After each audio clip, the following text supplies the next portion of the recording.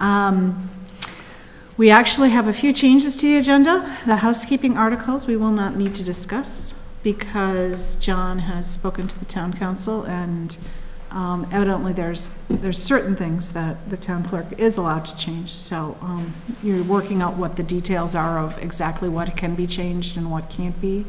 Yeah, so there was, uh, Connor and I had a conversation. He was under the impression that he couldn't change really anything, formatting, typos, anything like that.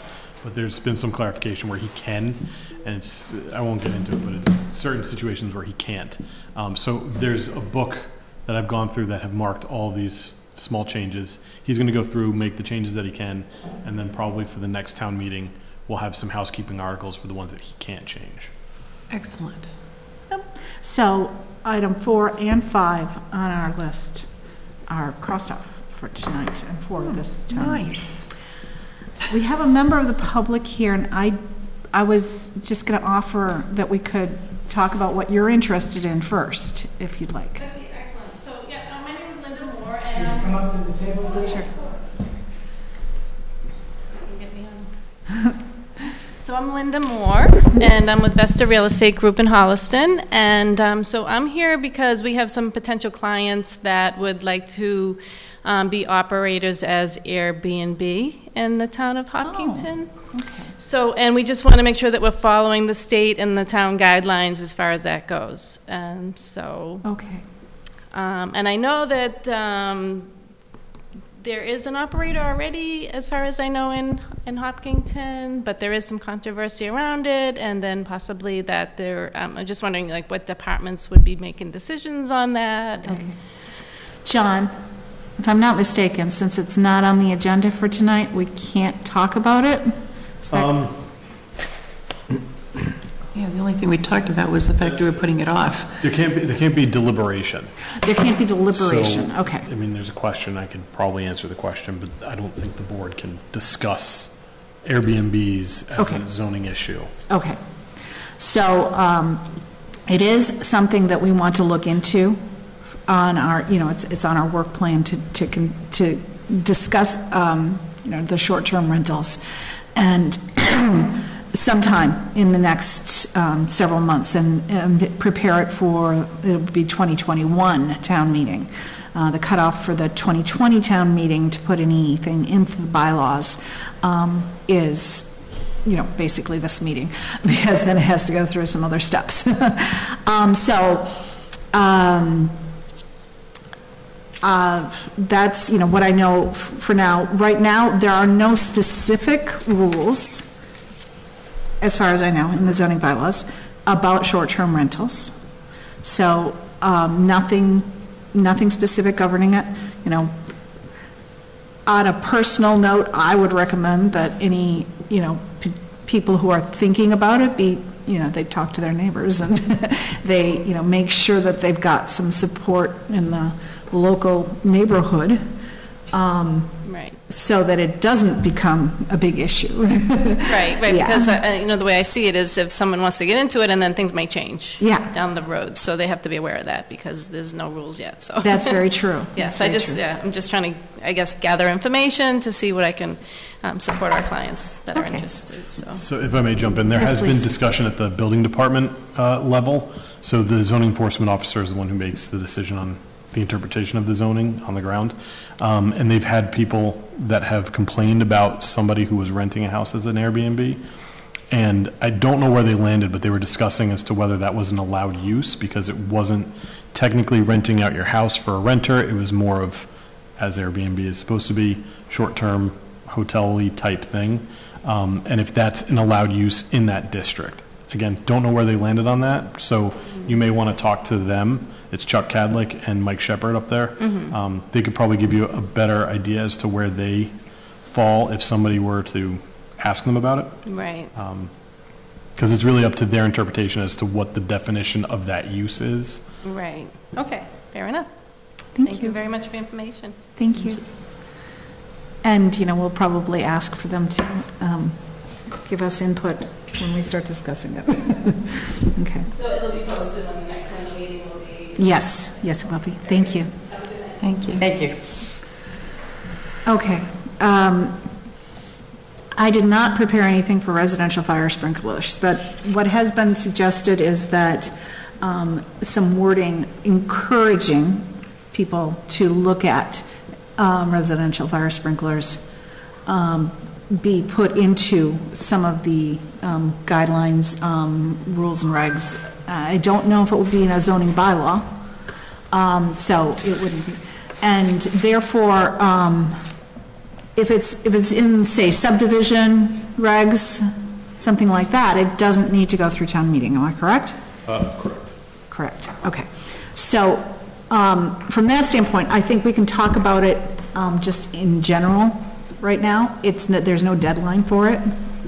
So, um, so we will be able to continue this discussion in more depth and get the fire chief to come in and, and, you know, uh, discuss it with us as well. But, um, for instance, uh, let's see, um, when we were at the demonstration of the fire sprinklers, I think it was, um, um, somebody suggested to me, who was it? Somebody suggested to me that, that we could put in there um, that, at least for subdivisions, um, that a developer of a subdivision would have to justify their decision not to put sprinklers in. So, because we cannot require them, that's state law. Cannot require them. But we can make them think about them. And, um, and that's, you know, one thing that, um, did happen in a recent, recent subdivision that came before the planning board. Um, because of some shared and long, longer than normal, um, uh, driveways, yeah. Um, and, you know, the, the developer was saying, yeah, I really wasn't aware of, you know, the, the newer technology, basically, about fire sprinklers. And so, um, you know, that, that enabled the planning board to, um, yes, since you're putting in fire sprinklers, that satisfies the need of the, you know, the, the issue that, you know, planning board would have with long driveways and, and possibly shared driveways and harder to reach areas. So it's one of those things that we might want to encourage. Would that be a special permit or variance type issue that if, if you're, if you need some special consideration, maybe one way to, to get that approval, like a longer driveway or longer cul-de-sac, those types of, you know, over a thousand feet type things? Right. Then condition, I, I think it's very important for that, but I think also that, that just as a, a point of question, when you're looking at subdivisions at the planning board, that it's a good question to ask. It's, having been to the, the presentation, mm-hmm. it doesn't seem to be a huge expense to add on to home building, but it, it seems to have a huge benefit Yep. if it's ever required. So just to see it in, in the questionnaire, when you're going through the subdivision review process, mm-hmm. which, you know, doesn't make it a zoning thing, but just makes it a review, a review thing. Yep. I think would be a phenomenal thing to do, just to put it out there in the forefront. And yes, if, if we're talking about longer driveways or whatever extraneous, whatever we're talking about, then yes, that's a mitigating thing that you Yep. can look at and say, okay, if you're doing this, but it's, it's something that we should throw out there for developers just to, just to consider, because I don't, I did not get the impression that it was a huge expense of construction, and the benefits down the road are phenomenal. Yeah. So I think it's a, it would be a great thing just to add to the subdivision questionnaire, I guess, when you're, when you're reviewing something. Great. Well, I- this came up with a couple of small houses in my neighborhood, and I believe that the benefit is very, very strong when you do have these long driveways or the subdivisions, which is multiple houses that you can pre-plan, but like a little small house that's being rebuilt because the old house is falling down, shouldn't, you know, and the fire hydrant is, you know, at the corner of the lot, they shouldn't be required to. So I think it's like a a guideline Right. um, based on the circumstances. It's not a variance, it's not a special permit, but it would be definitely a guideline that the planning board should look at. And keeping, uh, you know, mind that it may not be a big expense for a million-dollar house, but a $300,000 house, the percentage of that expense is significant. So I look at those things as, you know, you gotta pay, you gotta incentivize people to, you know, build housing that's going to be effective for all levels of, you know, age groups and everything like that. And some of these things are just making these houses just too expensive. But it would, it wouldn't be a requirement, it would just Right, be a. right. Well, now, a this was the first time I heard that to it's the- not a requirement the because the forefront state. To make you go, Yeah. huh, maybe that's something that we should do. Maybe Right. that makes sense at this point. You because- negotiated the planning board, right? And, and I don't think, Ron, um, don't want to speak for you, Ron, but um, I think Ron was pointing out uh, the special permit or variance is for an extra long driveway. And that could be a mitigating, this could be a mitigating Right. thing for that variance, so, yeah.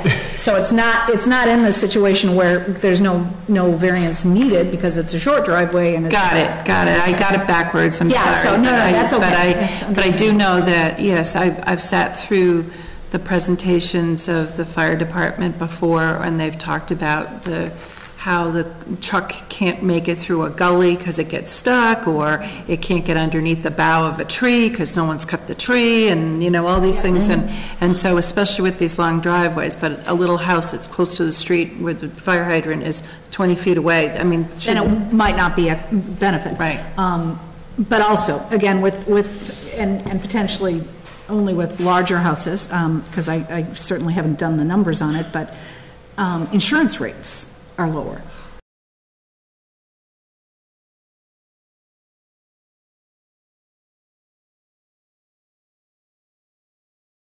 This will cost benefit, but, uh, you know, it can definitely save people money, the owners, you know, not the developers per se, but, you know, the, the owners, so. Certain houses that have well, it might, it may be more expensive to add the system, whereas if you have town water supply, that, that, the- Yes. the fire chief said that helps too, and. Yes, that makes a difference. But um, the, um, the water use for residential sprinklers is really, actually pretty low.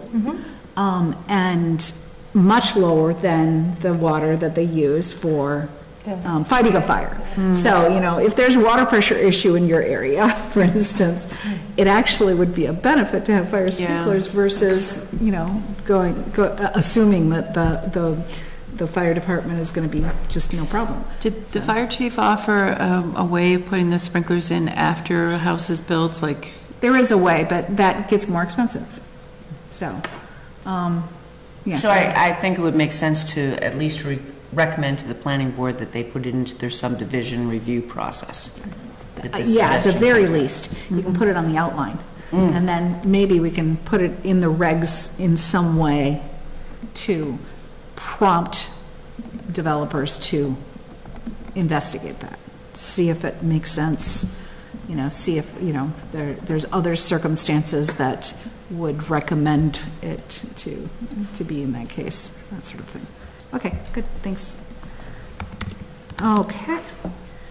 Um, Next, expiration of permits. John, um, you found these permits do have no expiration date current- currently. Stormwater management and earth removal permit, Yes, but they're not zoning. they're not zoning. They're general bylaws. So again, something that we can look at, probably for, planning board might want to talk about this and then propose something for town meeting rather than Zach, Okay, because the planning board is the authority on these.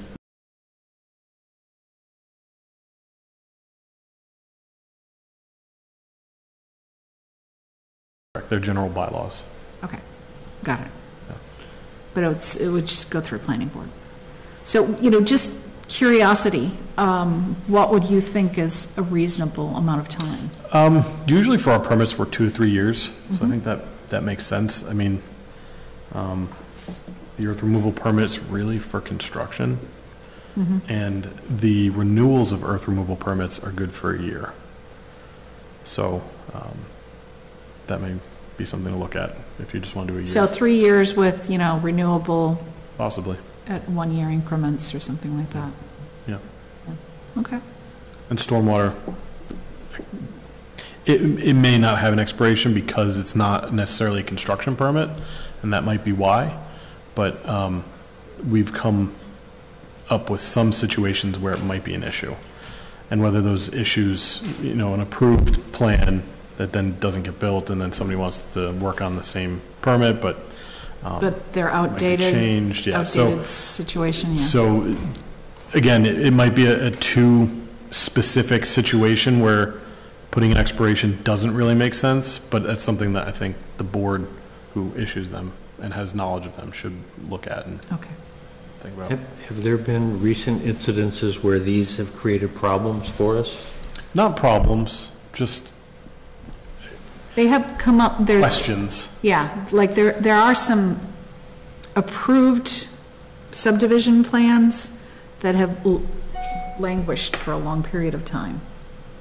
So subdivision plans, if they're approved, uh, and partially, even partially constructed, are basically approved forever. So they could do phase one and then wait And then- 20 years, And do Yes. phase two. come back to do And at phase that two. point, if they've got, so certain subdivisions that have already been approved, there was no stormwater management permit in effect at that time, so they're kind of grandfathered in, but moving forward, um, if they are issued a stormwater management permit, and then the stormwater standards change, they would still be under the other permit, um, which may cause problems in stormwater management. Okay, good, thanks. All right, um, I sent an attachment late, like, you know, an hour ago. But it was the same attachment I'd sent previously at our last meeting that we weren't able to discuss because it wasn't on the agenda.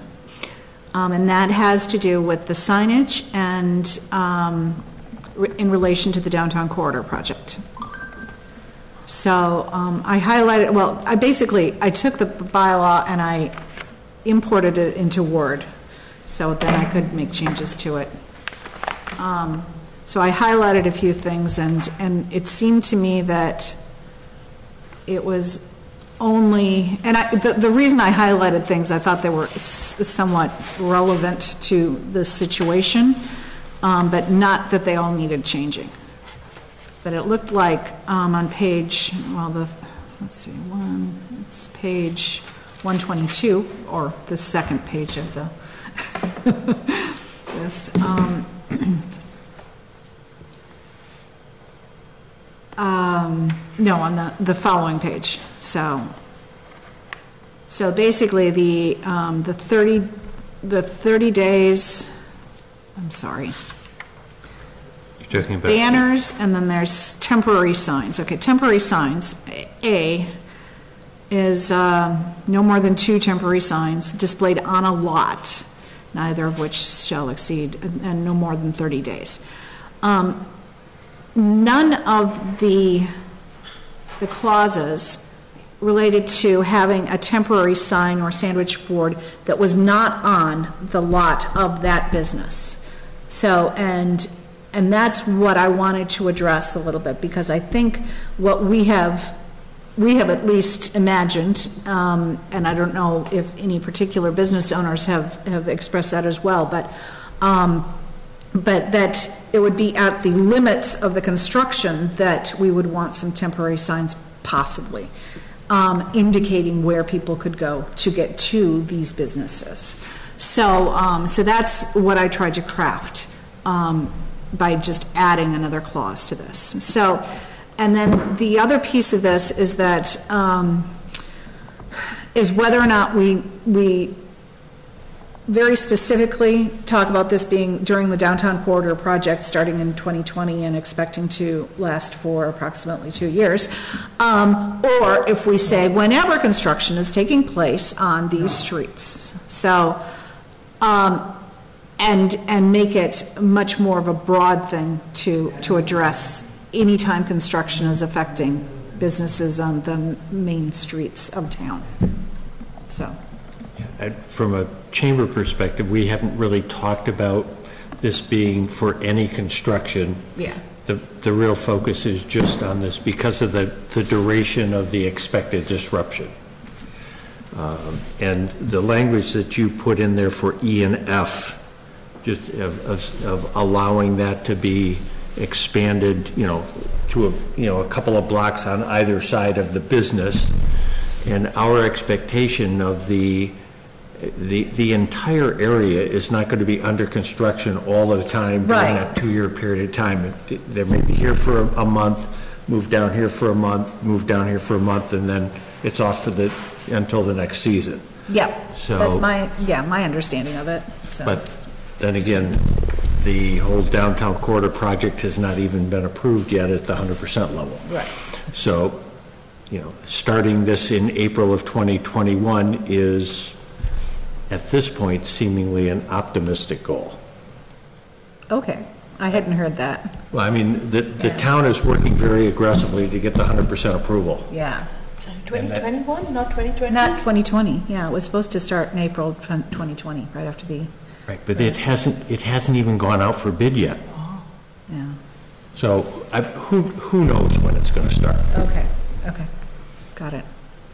So, from the chamber perspective, does, it- this, does this seem like a good idea that This- the businesses This are? language here, eh, we, we, uh, the, the board took a look at it, voted on it, said this is, this is really a, a big help to the businesses. A lot of the help that the business community is looking for is not zoning related. Right, I know that, yeah. It's parking related, it's communication related, Yeah, it's all of these absolutely. other things that are not necessarily zoning.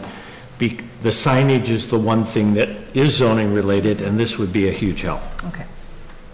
Other thoughts on this wording, the- or other aspects of it? I, I think the wording is fine for this project. I think if you try and encompass it over any construction area, then you're going to run into all kinds of problems, because what's construction? Yeah, And, you know, this guy's, I don't know, putting a new front on his building. Now, does that entitle me to do all of this other stuff? You know, I just think it's, the goal here, in my opinion, is to help the downtown businesses, which I think is, is key. I think it's incredibly important. I think they're going to have a very difficult time during this whole process and I think we want to help them. But if you don't limit it to downtown construction during the corridor project, you're going to encounter a great deal of resistance from people that are going to envision all kinds of heinous things going on. You, it's just going to be interpreted as being, you know, this guy's doing this to his property, so therefore this is going to happen. It, I think it needs to be contained to the downtown corridor project. Makes sense. thoughts? I wrote to you what I thought was a, a better way of approaching this, um, because otherwise, the next time there is some kind of a construction project, we'll be back here trying to rewrite this thing. Um, And I think that defining what construction is, meaning pulling up, you know, construction in the road for over 30 days is a better way of approaching it than just saying that these four streets are going to get that attention because the guy who's got the business on Lumber Street or South Street or something like that is not being evenly, you know, handled here. That's my only point to this. And I think that for us to determine in advance of this project exactly where signage is going to be needed, or how it's going to look, or anything like that, Oh, yeah. forget about it, you know? I mean, I just don't think that's a, a fair way. I think that by giving um, our um, municipal inspection service people the, the right to give, you know, some leeway on, on the spot is the way to approach this, and that's the way I would recommend. Okay. So I, yeah, I think it should, I, I agree, I need, I think it should be more expansive because it could happen, the, the same thing can be used anywhere, but at the same time, yes, it's, um, people will try to misinterpret it, but somebody has to s- stop it somewhere. So hopefully the enforcement officer, because I'm, yes, I agree completely that they will try to misinterpret it. Maybe we can make it even more specific that says during the period of construction, that blocks entry or becomes a, is a barrier of entry to a business or something like that to make it Yeah. even more narrower, but it needs it shouldn't just be downtown corridor project. Okay. So any business affected by construction, um, construction abutting the business or abutting parking for the business, is that, Or affecting access, parking. okay, construction I'm okay with that if you- if you define what that is. Yeah, that's my, that's affecting access to the business or parking. access to parking? Can I ask a question? Yep. Is the intent to um, provide businesses with relief for construction that may be on like a neighboring property? Or is it more for construction that's taking place within the right-of-way? Within the right-of-way, and So maybe that's specified, construction Yeah. within the right-of-way? Because Yeah. that should encompass road work and Yeah, sidewalk. work. that's more specific and, you know, because someone doing something to their house doesn't really, that's not. And if they've got construction uh, trucks in the way, the chances are they're not going to be there for over 30 days, right, which is, but I, I- again, the, the shape of the sign, where it's located, what type of sign, I mean, those things should probably follow our general uh, guidelines, but be with the inspection Yeah, the, the wording, my wording doesn't have anything about those kind of design issues. So, okay. Um, But we could, um, okay, let's see. So any business affected by construction within the right of way, is it appropriate, is it correct to say abutting the business, or is that the wrong term? Is there, Well, it could be two doors down that the road is closed. You know what I mean? In the right-of-way? That's, I I mean, I've, I've seen all these things, it's like, you know, that's why it's very hard to write a bylaw like this without the good judgment of somebody who's gonna look at it and say, you know, that sign's blocking, blocking the sight line of the traffic. So my suggestion could be, and feel free to shoot this one down, um, to say, construction within the right-of-way that can be reasonably determined to affect access to a business, Or access to the parking for the business, or yeah. access, I would, I would say, making it general, affect the business is affecting the Yeah. parking of the business. Yep, And so I think putting that reasonably determined gives, because it's going to be the zoning enforcement officer who makes this determination as to whether that business Is ca- affected. is affected. Right. And so I think if they can say, yeah, reasonably, you're, right, you're affected. And I, I don't think people are going to be upset if, you know, construction is here, and there's a business here, a business here, and a business here, and all of them say it's affected, but then the one that's over here that's clearly not affected, I think people might say, okay, that, that's a problem, but the other ones, I don't, in these limited situations, I don't think is going to be a right, because Something each hard for individual this- business person can make the argument to the inspection person and say, you know, even though this is not right in front of my door, all the people who park for my business is over here, and that's, that's affecting me. Right. I guess the situation that I would throw out there is if Muffin House, for example, has construction going on in front of it, can Bills then say that that construction is reasonably affecting their business because people may park near Muffin House? I would say no. Yeah, it But that's, depends, that's depends the on the scope of the, Right. yeah, the work. But I would say that, that situation right there could probably give the zoning enforcement officer the, the ability to say, no, that's not really reasonably affecting your business. Right. If the Froyo place across the street said that, then I think they have an argument, but that, that at least leaves it up to the subjectivity of the zoning enforcement officer. Okay.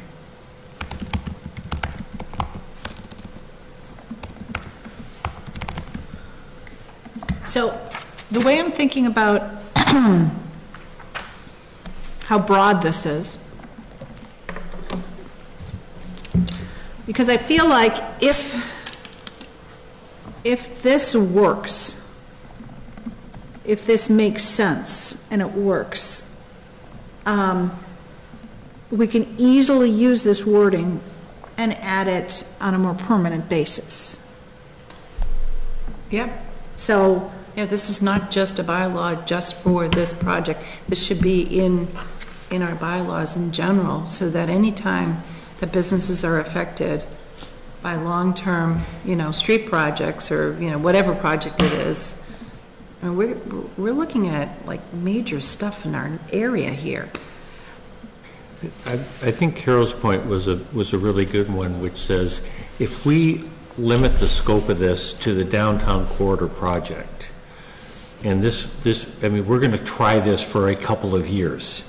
If it does work, we can always come back and say, we had great success with this, we'd like to recommend now incorporating this at, you know, in any time that this situation comes up. But rather than try to do both things in this town meeting, let's, let's narrow the scope to this and then, and then come back to it. That, I think that that, that makes the most sense to me, is that, is that we treat it narrowly at first, and, you know, and see, see what people say at town meeting as well, you know?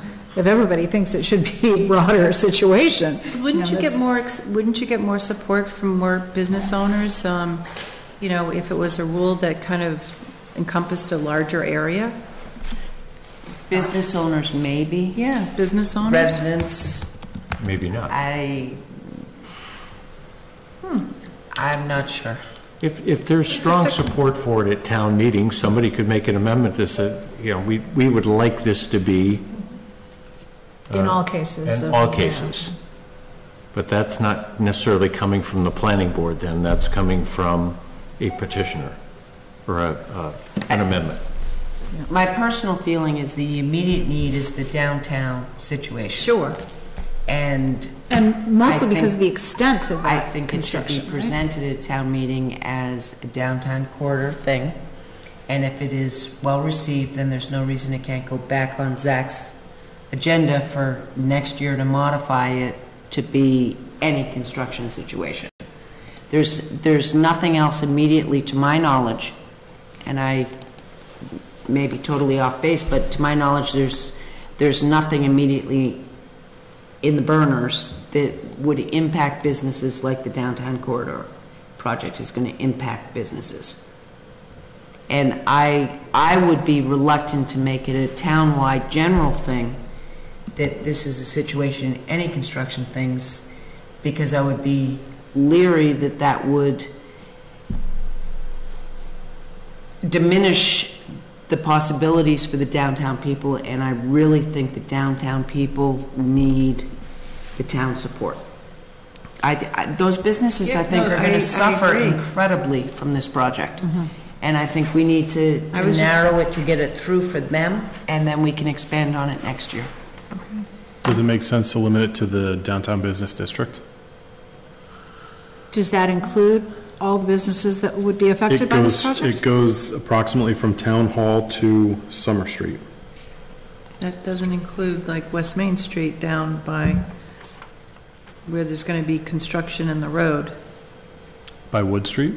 No, I'm talking about where Lumber Street hits West Main. That's not part That's of the not downtown part of corridor project. No, I know. I'm, I'm just saying, we have a project that's going to be hap- happening there where they're going to be widening, um, they're going to be fixing West Main and Lumber Street. And those businesses are going to be affected. And when, when is that project scheduled? I don't know. I I haven't heard I anything haven't about either. that. I'm just responding to the sentiment that it should be for the downtown businesses. Mm-hmm. And I think the, the downtown business district, while it doesn't cover the entirety of the project, it covers the businesses. I'm trying to think of anything really past Summer Street, there's not much. And there's n- really not many businesses past Town Hall. Mm-hmm. I don't think, I mean, Bill's. I So- mean, if you go down to Pleasant Street, you've got businesses there, you've, you know, all the way, and there are businesses on Main Street all the way down to Wood Street. There are. In the are. opposite direction. And Yeah. But I guess I'm wondering if they need signage, because if they're, the, the, um, uh, the daycare center, do they need signage to say, temporary signage to say, we're here, we're open? Probably not. but I would still like to give them the option to put it up if they elected to do that. Okay. And I, I think leaving the language as broad as those businesses affected by the downtown corridor project, as opposed to, I mean, the downtown business district is a narrower district. Defining it as business effect, businesses affected by the downtown corridor project, I think is That, well, not, not, but we've got definitive specific enough. streets named in that. Right, but West Main Street goes all the way past my house. Mm-hmm. So, I mean, that's what, what- you know, I, I would prefer to have it that versus the downtown business district, because, like I said, there, there are other, there are other projects that are contemplated that are going to affect businesses. So why, why would we come back like in a year from now trying to do this again? We've done the signage bylaws, I don't know, over and over and over again. But by lea- leaving it a broader area, and the zoning enforcement officer could say, no, your business really isn't being affected by this construction, so we're not, we're not going to allow you this thing. Or they make the case, I am being affected by it, I want some latitude in, in these temporary signs that I want to put up.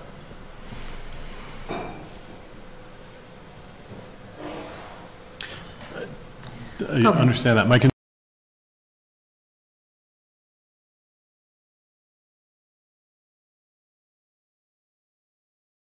entirety of Hayden Rowe. I w- Which I wouldn't was- get affected by it. But not a lot of businesses on And Hayden Rowe It was, other than the I was downtown. listing those streets as, as thinking if we wanted to open it up to all construction projects everywhere, um, you know, that that would be, you know, we would list the main commercial streets, potentially commercial.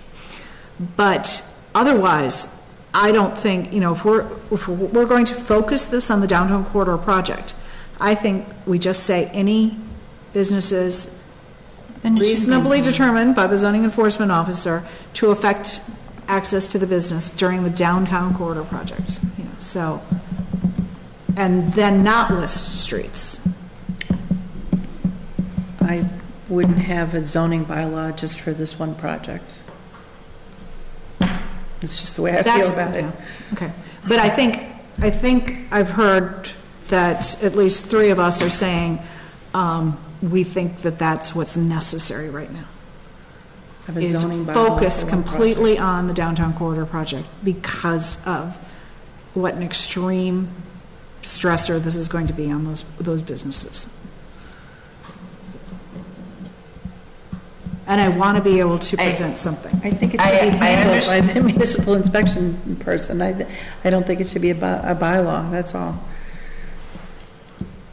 Well, I don't think it can be handled, and correct me if I'm wrong, I don't think it can be handled by, excuse me, the building inspector, if there isn't a bylaw for them to fall back on. So there's no, like, temporary guidance for, for that right now. See, that's, a- that's, There are- So there are temp, there is guidance for temporary signs in the bylaw, which is Right. what this is trying to change. right. Because it's a limit to 30 days. But I guess there's no temporary rules or regulations for the inspection services for, like, helping, um, Construction. No. for construction, which, you know, to me, that's like, it would be something broad-based. It's like, yeah, they should be able to help in any of these cases with And they, reasonable guidance. and you're right, they should be able to. But my immediate concern is this project, and I think you need to, s- And use this project as a way to get that, you know, the more broad-based thing to, to happen. I mean, Yeah. I'm just, I'm, I, I feel like the, yes, I feel very sympathetic to small businesses. I work with them all the time. And when something like this is like a tornado hit, that hits them and knocks them out of business, mm-hmm. you know, I'm not even sure the temporary sign is going to keep them in business, Carol. I'm, I, you know, so whatever the municipal inspector can do to help the businesses under these extre, you know, these extreme circumstances, they should be able to do that. historically, we have had a tough time getting changes that appear to be big through town meeting. I don't think this is a big, I think it's a, it's a, it's a help. It's like a, you know, it's a, I, I understand what you're saying, and I, and I, I agree with what you're saying. but I would be reluctant to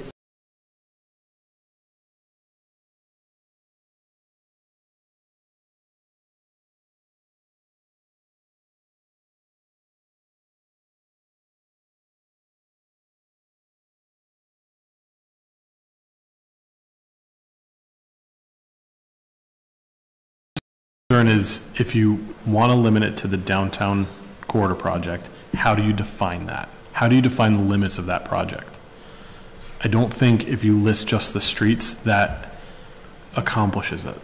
Yeah, I don't if you, think if we- you call it the downtown corridor project and let the building inspector determine whether or not you're impic- impacted by that project, Yeah. does that not allow the leeway for And we don't list them streets. to make that decision? That's what I'm saying. Do you guys see any other bylaw that talks about a specific project No. that a bylaw is created? That's why I'm, I'm, I'm kind of like, this doesn't make sense to me. It's a, it's a, it's a, I I understand what we're all trying to do. I'm just trying to figure out the, the best method to do it. Yeah, and I, uh, I'm also having a little bit of difficulty understanding what would be the worst case scenario if we open it up for everybody. I'm trying to see the other end of it. So what, are- other than, the- I see the risk that it may, the- if it is a bigger thing, it's harder to pass in town meeting, that's one. But other than that, even if we open it up, what would, because the worst case scenario is a sign will be up on, during the period of construction. So it's not an, it's not going to be a permanent sign, it's Right. going to be, so I'm, I'm, that's why I'm like, I'm a little confused about why, I don't, I don't think there's any big risk to it, other than whether or not it will pass at town meeting. If it does not pass at town meeting as a bigger, broader thing, then I believe that the downtown businesses will be, no, I, I agree So why don't we- I so So then, completely- so why don't we put it in as a broader based guideline and then, um, you know, we can change it on the floor? Because if we, we have to decide on the change on the floor before it gets voted on. Because if it gets voted down, we can't then introduce, oh, how about, how about this You, instead? you view it on, while, while it's being negotiated on the floor. You mean just wait to hear the general? Yeah, yeah, because But the people who get up and talk are not always representative of the way the vote's gonna go. So, you know, I don't know. So maybe we do this, we say during the period of construction, specifically downtown corridor project for now, and, and pr- make an amendment to just remove the specifically downtown corridor project if it seems, like such as a downtown, you know, corridor project, maybe that's. all right, so maybe we should put Such it as. forth as a downtown corridor project with Rhea standing up and putting in a friendly amendment that this should be all municipal No, that's construction. backwards, that's backwards. You don't make zoning bylaws for a specific event, you make them for, you know, ongoing. So you can stand up and make that argument. No, I'm not going to stand up and make an argument. I, I think that if you Just, put this. just like I if you- don't think paragraph G should be in the, uh, Yep. And you're gonna make a friendly amendment. 210-126. I think if you went in with a more general thing and you saw that it was being negative, then you say, well, this is really to help the downtown corridor project businesses affected by that particular thing. And you, you enhance it that way, not going backwards. Because I've never seen bylaws specifically call out a specific project.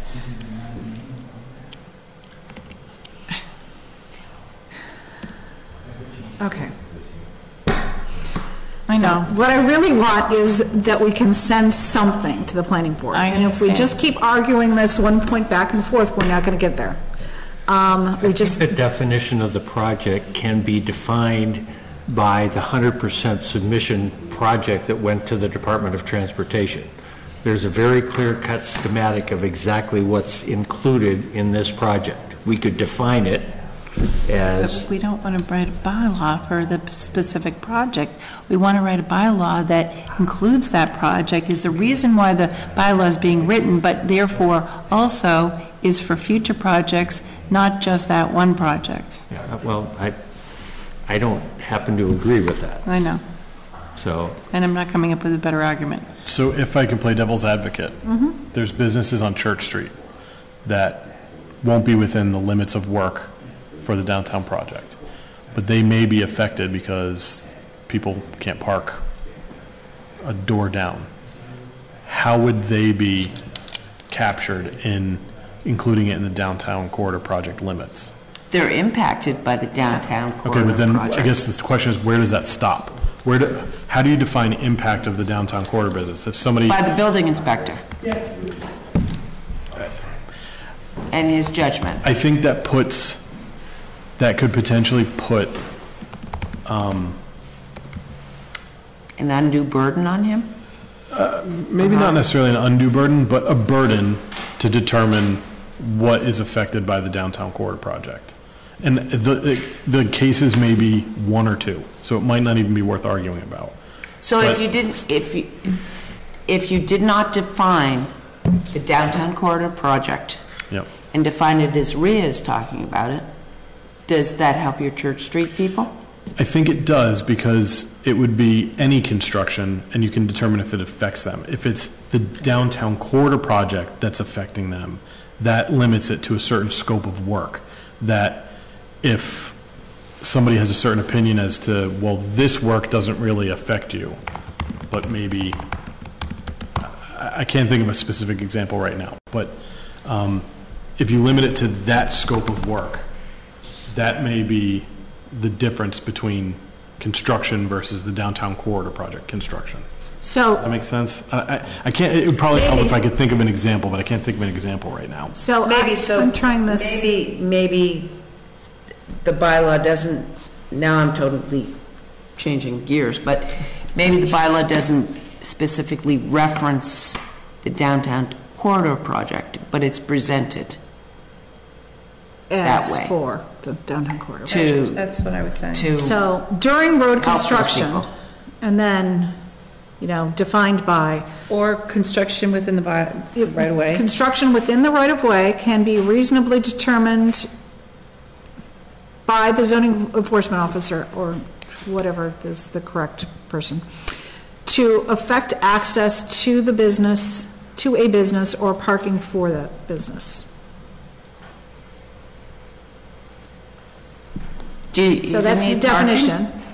I would say access, I would- I th- thought we discussed taking out the parking and just saying Yeah, I access would. to the business, Yeah, because that included Right, parking. it'll be cleaner that Access way. to the business? Yeah. yes. So it's pedestrian That access and includes parking parking? So it could be I mean, walking, yeah, if they biking, can't park, then parking. that's access to the business. Or a- Drone adds flying. barriers to entries to the business? Any kind of barrier, barrier through parking, I I think leaving it broader by s- just saying affects access. The concern with, Affects concern with access. adding barrier is that it implies a physical barrier. Could be a mental barrier. Could. Okay, so businesses affected by road construction, defined as construction within the right-of-way that can reasonably be ter- be determined, can, I got it all in the wrong order here. Are sidewalks considered right of way? Yes. Yes, Okay, thank that's you. part of it, yeah. And That's what I thought, I just I would- to check. I would suggest taking out road construction and just saying construction within the right-of-way. Because if it is part, if it is sidewalk construction, that's not road construction. But it is construction within the right-of-way. Okay. Okay, so can be reasonably determined by the zoning enforcement officer to affect access to a business. Um,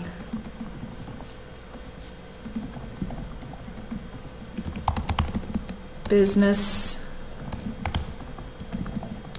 businesses may display temporary sign or sandwich board within two, two blocks of construction for the purpose of directing customers to parking, hours of operation, et cetera, or special instructions. Um, The limitations on duration noted in this section, in the section, or the section above, I don't know, the- This section, this section, yeah, you're still um, in are that. not applicable during the period of construction. Good. but uh, the D D and E, do they apply? Because D and E overrule these two, right? D and E are the Patriots Day one and the election one, It doesn't change anything about those. no? Because those can still be taking place during, during, um, Construction. during the same, yeah, during the same time frame. It's a different issue, really. Okay. Yeah. Okay, so, so this is F, and we're just talking about, and I'm not even saying such as the downtown corridor project, but, um, but we can make clear that it is specifically for the downtown corridor project, but we wanted to word it in such a way as to be applicable mm-hmm. during appropriate other right-of-way construction. So, I think, I think that addresses everyone's concerns. okay, business, access during construction in right-of-way. Okay, so, right now I've got this as a title, it's kind of like a, a title and then some points underneath. And, you know, you can look at it and see if that, it works with the way the zone, zoning is- should be worded, okay, um, or formatted. So, business access during construction in right-of-way, so That's the title. maybe it should say something about signs. It's under the sign bylaw. Okay, so it's good, okay. Defined as construction within the right-of-way can be reasonably determined by the zoning enforcement officer to affect access to a business. Businesses may display a temporary sign or sandwich board within two blocks of construction for the purpose, so, within two blocks of construction, not within two blocks of the business. So is that, is that fairly clear? Yes, Okay. but just as you said, a sign or sandwich board, they may need more than one sign or sandwich board. I'm just, Yes, I agree. I would say sign with a, with an S in a parentheses, Sure. please. Yep. And I don't, I don't know if we want to um, say blocks, because blocks are not a defined term in our bylaw. Okay, within 200 feet. Well, usually a block is an eighth of a mile, so maybe say quarter of a mile? Is that too much? An eighth of a mile? I don't know scale. How many feet, how many feet is that? I, I think it's going to be easier to visualize if you get it in feet instead of Miles. miles.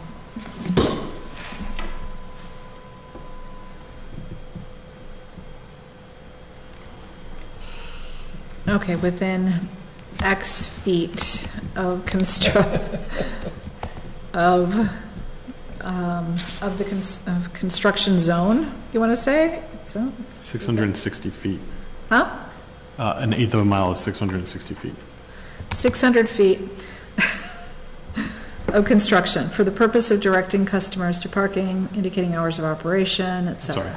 220 feet. I don't know what it was. 300 feet. Wait, 300 no, I'm sorry, it was, that's, it did it by yards. It is 660 feet, sorry. Okay, 600 feet. 660. 600 feet, okay. And the limitations on duration noted in this section are not ac- applicable during the period of construction. Great. Okay. And I'm sure it'll get some tweaks. when The planning board has its, its say at it too, so, okay? All right. So, do you want me to read it again, or is it, okay. Since we worked really hard on it, yes. Business access during construction in right-of-way, this would be F, paragraph F. Defined as construction within the right-of-way that can be reasonably determined by the zoning enforcement officer to affect access to a business. Businesses may display, should we say may apply for, apply with the, may apply, I I think may display, let, let them put the sign up that they want to put up. Yeah, there's, there's no permit for a temporary sign. right. And they've already had to ask whether or not they could put up a temporary sign. They have? Not necessarily. Well, did they not have to have the building enforcement officer determine that they were impacted? That's what I was just trying to figure out, yeah, since they have to. So they had to have somebody say, yes, you're impacted, before they go and get a sign to put up 660 feet away from their business. Not necessarily. So with temporary signs, they put them up, and then if they're just, the way that it's enforced is if they're up longer than they should be. Then they, It's an they- exception then they tell them to approach take it rather than down. a permission approach. Okay, yeah. Um, I just modified this one small way, and after the definition, the next bullet point saying affected businesses may display temporary signs or sandwich boards. So, implying that, again, these are the, the businesses that are affected by this construction. And if anybody disagrees with that business being affected by it, they can go to the zoning enforcement officer and say, hey, they're not affected, they shouldn't be doing that. Right? Right. Okay. Affected businesses may display temporary sign or sandwich boards within, temporary signs, and, or sandwich boards within 600 feet of construction for the purpose of directing customers to parking, et cetera, et cetera. And the limitations on duration noted in this section are not applicable during the period of construction.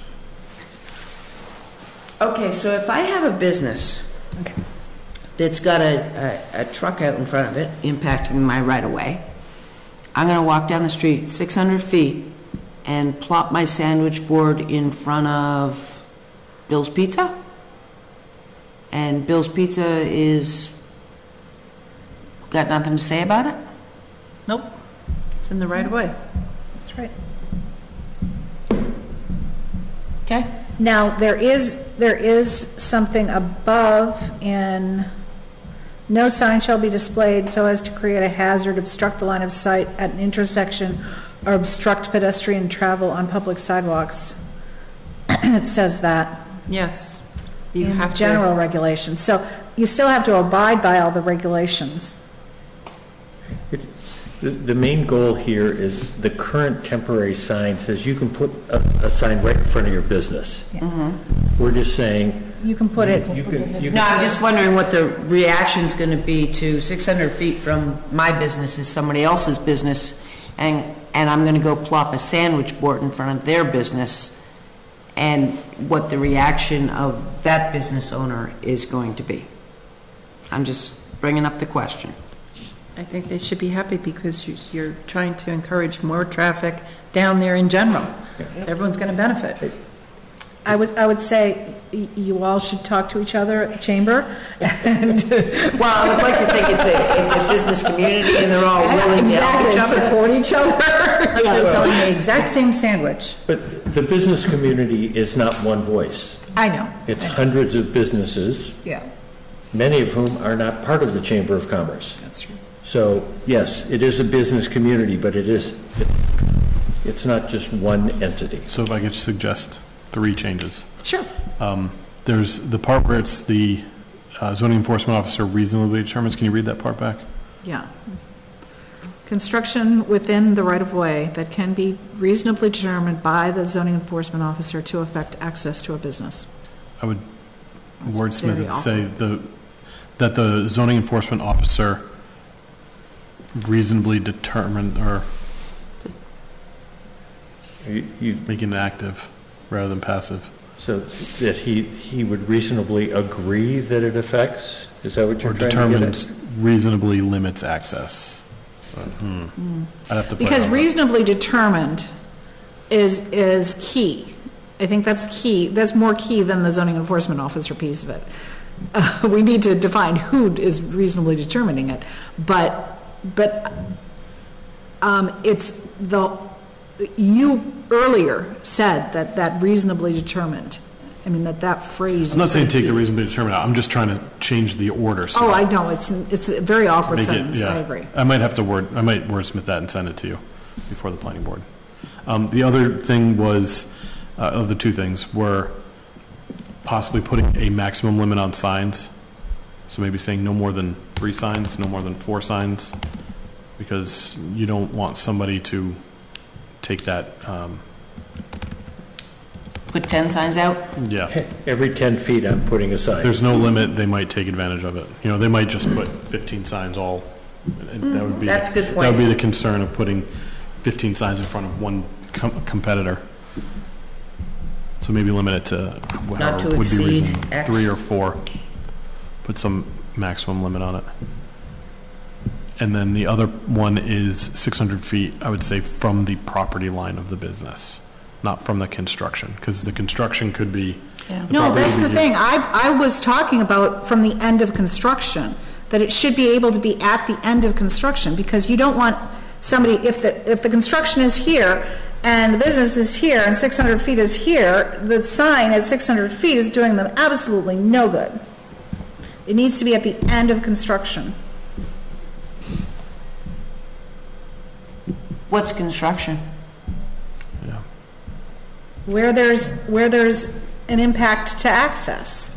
I mean, if, What I might suggest is that the, the town engineers have some responsibility to put signs indicating that, uh, and it might be one of those lighted display signs that says, all businesses are open during construction. yeah, And that's kind of, that's leading up to the construction zone. And then the individual business says, says Bill's Pizza is open during normal business hours during construction. Mm-hmm. So there, there's a, a double light, the individual businesses can do what they want. I, I don't think that that necessarily abdicates the town their responsibility of communicating to the general public. no, I agree with that, yeah. that But where are these, so- where is the edge of limits construction? Placement, yeah. But that, but the, the town signs, I, I would expect that the town signs are going to be the one At the edge of at construction. the en- end of construction, before the construction begins. You know, construction zone, caution, businesses are open during construction. Well, so then the construction uh, zone as determined by the zoning enforcement officer, As opposed to feet. as opposed to feet, because it'll change. uh, I, Well, I think the 600 feet is, so. we're, we're saying to that, that small business owner saying, I, But I want you to know as you're coming up to my business, I'm open. Right, but Ron, what she was saying is that, that it would be 600 feet, up to 600 feet beyond the construction zone, like before the construction zone. So just for perspective, from the, the westernmost edge of Bill's Pizza to the easternmost edge of the Cedar Street, Grove Street, Main Street intersection is 550 feet. Okay. So I had not put in feet to begin with when I drafted this. I said, I said at, at, you know, the ends of construction, basically. Um, But I like the idea that the businesses have leeway in terms of how far away from their own property line they're placing it within reason. So within 600 feet of, you know, so within 600 feet of their property line is probably going to be anywhere between the end of construction and the property line itself. I would assume so. I mean, Yeah. I don't, just seeing this on, on the map, I- I doubt they'd be doing 600 feet's worth of construction at a time. Yeah, no, I agree. I hope, They- I hope. they may You not would be hope, but then, you know, It can be torn up for It a could be while. turned- yeah, I mean, pieces of it could be a mess for a long period of time, and that's just where the issue, We just don't know. we, yeah, I mean, that's why I like to have somebody out there I think in it's. charge. I I think it's probably also important to note that this isn't going to solve all of the problems, so this is just a little piece, so maybe this is all we can do through zoning, because zoning does have to have limits, and maybe the rest of it can be done So some maybe you other say way. 600 feet from the property line, and if it's not adequate, then they move their signs, and it's not a problem until the zoning enforcement officer goes and Right. tells them to move their sign back because it's too far away. Right, Okay, yep, uh, it's, okay. Affected businesses may display temporary signs or sandwich boards within 600 feet of their property line. Mm-hmm. Okay. I'm still working on that first sentence, redefining, rewording. So how would people feel about me working on that wording with, with Perfect. John afterwards and, perfect. okay? 'Cause I feel can't, I just fine can't, about that. I can't do this like this. I, I have to look at the words I and know, write. I and feel that way write. too. And I, But we- I but don't we do have it to well vote on on a it computer tonight. even. I That's the handwrite thing. everything. So the idea being that we're defining it at first by saying affected businesses, it's, it's the zoning enforcement officer reasonably determining whether or not they're affected, and they're, being affected means access. Okay, so somehow we're gonna make that work in a sentence. I'm just, okay? I I really like John's, John's point about limiting the number of signs, however. Limiting the number of signs, yep, I mean, I, I think that we could even say up to two signs. up to two temporary signs. I mean, we sandwich could say boards. up to four, Four? but that would mean that they could put one, you know, go mm-hmm. 600 feet on this side of the street and 600 feet on the other side of the Yep. street, and you've got one going both ways, Yep. so. I mean, four would be like the maximum, but that's a lot of signs. That's a lot That's a lot of signs. If you, if you multiply it by all the potential businesses, it's a lot of signs. When, And you when know the what? chamber looked at this wordage, we had a singular there, Yeah, sign or sandwich board, and, and I didn't get any pushback from anybody saying that's not enough signs. right, But they're okay. not, they're not there yet. They're not in the middle of the, the construction I zone yet. understand, but it, it- but if every business in the, it, on- in- on Main Street puts up four signs, But they won't. Just works that way. I'm, I'm happy with up to two temporary signs or sandwich boards. I'm happy with two. Because, like you said, uh, if, uh, if I have to exploit it, I'm going to try to exploit it. If I see the number four, I'm like, why not four? Yeah, So if there is- exactly. You think that's going to help you, right? Good? Yes? I, I personally, I don't think businesses didn't spend money because they can spend money. I think they look at it and spend money where it's effective for them to spend money. And I'm not sure that four signs is going to be any more helpful than two. Right. So I don't think they would put up four if they could put up four, if two is what they thought was going to do the job for them. Right, So- I think four looks like we're really trying to help them, and two looks like, you know, we're trying to regulate them. We And I- are trying to regulate them. Oh, but, but I, you know, there's a, the approach of like, what, what makes sense and what doesn't make sense. I, I, in my imagination, I can see everybody putting up four signs and it just being a, a Litter. Whoa, yeah, but I, I honestly think that They won't do that. businesses spend money where it's effective for them. Right. And they might start with two, and if two's not working, maybe they'll put up four, but I don't think they'll start with four because they're allowed four. Well, the only reason I could, I would think of four is Yes. this Two on end, each this side. end, this North, end. south, east, west. Yes. That was what I was thinking too, because those businesses are And not originally, that's relying what on I was just thinking too. East-west traffic, they're relying on traffic from all over. So I think four as the maximum is reasonable. Okay? Okay, And you can whack me upside of the head when I'm tripping over signs, walking to Phipps. They can't block the right of way, though. So I'll still be able to walk to Phipps. You may have to slalom a little bit down the sidewalk. I can take the center trail. okay. Over. So, may I entertain a motion to send this to the planning board? Second. Okay, Wordsmithing? we will wordsmith that first sentence, Yeah. especially. Um, okay, all in favor? Aye. Aye. Opposed, abstentions? Okay. So this first sentence really needs some work, but I will be able, I'll send this to you. At least it's uh, just one addition, not a little bunch of cut and pastes. Okay, good. Good, all right.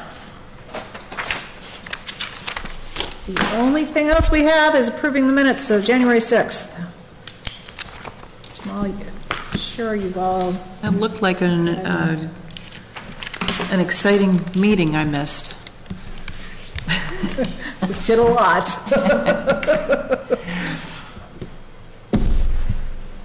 It's- And I Nothing, wasn't nothing here, so helps more I'll, than a I'll deadline, take your word right? as to whether or not it's Yeah. an accurate reflection. I will move to approve the minutes as submitted. Thank you. Second. Thank you. All those in favor? Aye.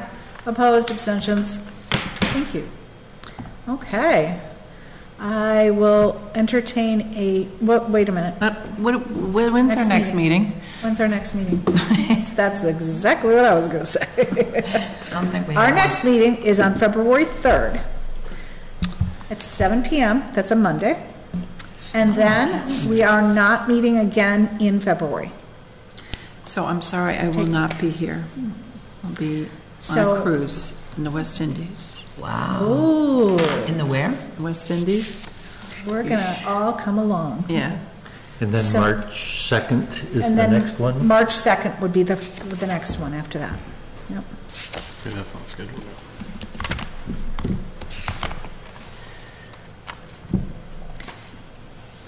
Okay. Okay, now I will entertain a, a motion to adjourn. Yeah. So moved? So moved. Second. Thank you. All those in favor? Aye. Aye. Opposed, abstentions? Yay! We're done.